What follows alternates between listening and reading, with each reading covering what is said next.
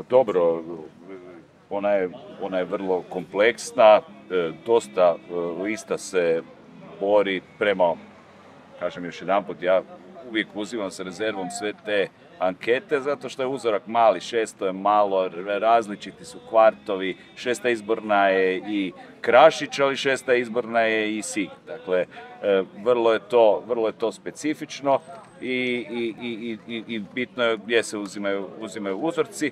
U svakom slučaju, prema svim anketama, e, šest lista kandidira za, za prolaz u Sabor. Vidjet ćemo još jedan put e, jedina anketa koja će to pokazati je u sredu. Mi smo e, izbornu jedinicu obišli, točno znamo kojim biračima se obraćamo, kod nas nije to e, sada tu ima puno preklapanja i ovisno je o tome koliko će birača izaći takav uspjeh i očekuje.